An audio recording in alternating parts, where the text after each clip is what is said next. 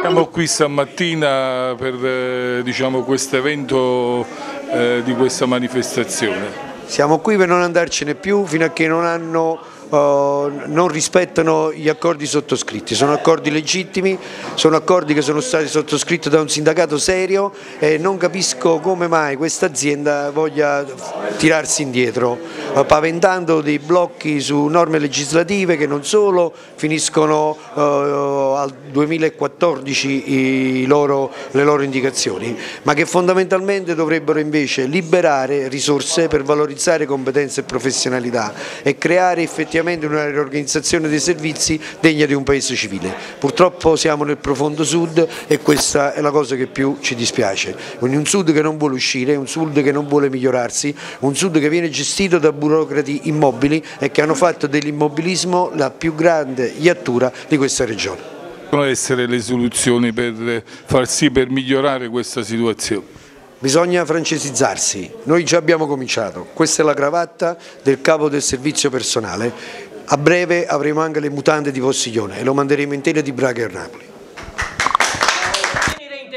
Le regole si devono, devono valere tutte, questa è una regola della regione Campania, recepita dal governo, applicatela. Non voglio più sentire storie, la dovete applicare. Vi ricordo che vi ho scritto ai sensi della 241, attendo una risposta previste dalla percentuale di blocco del turnover che è stato autorizzato dal livello regionale, non ancora romano, lo facciamo prima che ci dicano no. E questo che, che cosa significa? Che con i 300 cessati nell'Asia Italia noi ne prendiamo 41 quest'anno. 41 unità. Direttive di contingentamento e di contenimento dei costi del personale che derivano da esigenze che nascono dal piano di rientro, dai programmi operativi.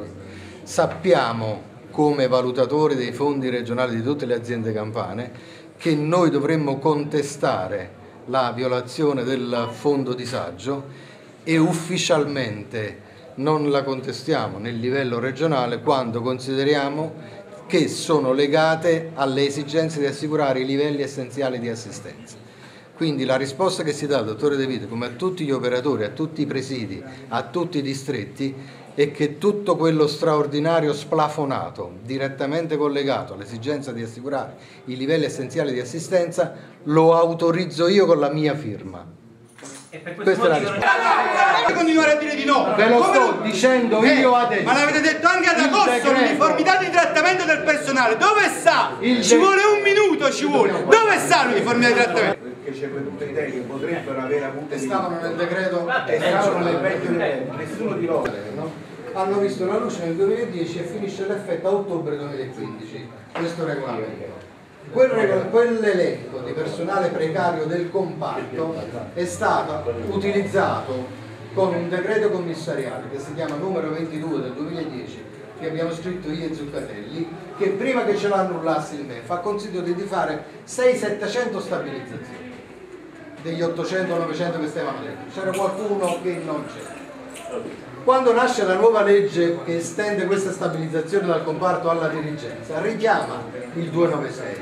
Come struttura commissariale abbiamo fatto, dato incarico alle direzioni generali, oggi ci sono quanti più, e ai commissari, di fare l'indagine su quanti di comparto e di dirigenza avessero i requisiti di comparto e dirigenza hanno fatto le domande, sono state valutate le domande e sono stati valutati i requisiti. Di comparto abbiamo avuto domande zero?